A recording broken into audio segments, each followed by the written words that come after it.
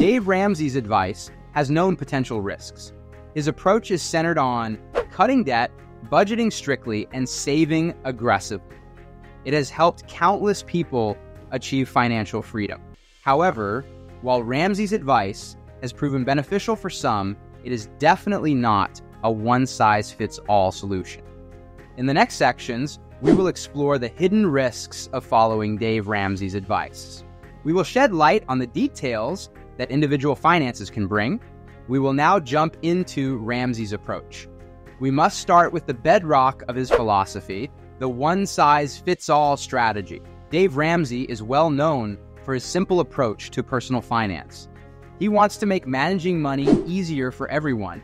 His advice focuses on getting rid of debt, making strict budgets, and saving a lot. Many people have followed his advice and become financially secure. But his advice has some limits. Not all money problems can be solved the same way. People have different financial situations based on their income, debts, family, and future goals. Ramsey's strategy may not work well for everyone.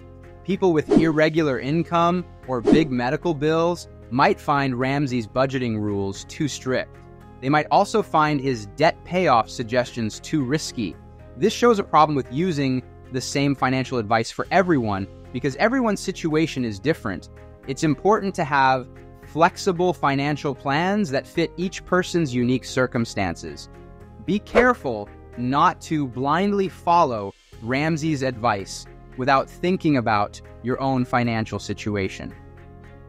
One of Ramsey's most famous strategies, the debt snowball method, epitomizes his approach to handling debt. Let's explore its mechanics and evaluate its effectiveness across different financial scenarios. The debt snowball method, pros and cons. The debt snowball method is emblematic of Ramsey's philosophy towards debt management. The strategy advocates repaying debts in order from smallest to largest regardless of interest rates. This taps into the psychological boost from paying off smaller debts. It fosters momentum in one's journey to being debt free. The joy of clearing debts one by one can be a big motivator. But this method ignores interest rates, leading to big inefficiencies. Letting high interest debts accumulate interest costs you money. A repayment strategy that is sensitive to interest rates could save you more in the long run. One example is the debt avalanche method. To decide if the debt snowball method suits you, consider your financial situation carefully. If you have high interest debts, following this method may have drawbacks in the long run. It's crucial to tailor your debt repayment plan to fit your financial needs best. Choose strategies that match your situation for better long term results. In addition to the strategy to pay off debt, Dave Ramsey's advice also includes a strong aversion to all forms of debt and credit cards. This stance deserves a closer look at its potential impact on financial health. Aversion to debt and credit cards. Dave Ramsey strongly opposes debt and credit cards as part of his financial philosophy. He believes in using only cash and argues that it helps control spending and avoid debt. This strict approach can improve finances, but it overlooks the importance of credit in today's systems. A good credit history is crucial for getting low interest mortgages and better job prospects.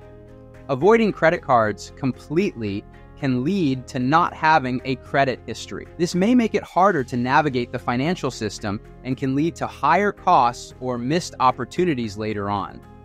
This part criticizes completely rejecting credit cards and debt. It argues that credit is a helpful tool when used responsibly.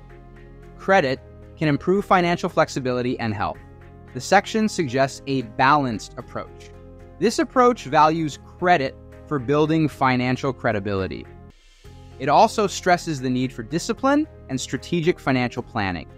We are shifting from debt and credit. We now turn to Dave Ramsey's investment advice. We will discuss how his plans may risk people's long term financial goals. They may also risk their retirement planning, investment strategy, and retirement planning. Dave Ramsey believes in keeping investments simple by focusing on mutual funds and stocks. He suggests a portfolio with a lot of stocks and aims for a 12% return on mutual funds. Some financial experts doubt his advice and warn against having high hopes. They say Ramsey doesn't stress it enough. You need to spread investments across different types of assets, like bonds and foreign investments. This lack of diversity could make investors more vulnerable to risks. This is especially true as they get closer to retirement. It may put their financial future in danger. This part emphasizes the importance of having a personalized investment plan. The plan should consider your risk tolerance, financial goals, and how the market works. It disagrees with Ramsey's advice that one strategy fits everyone. Instead, it suggests using a balanced and varied approach to managing your portfolio.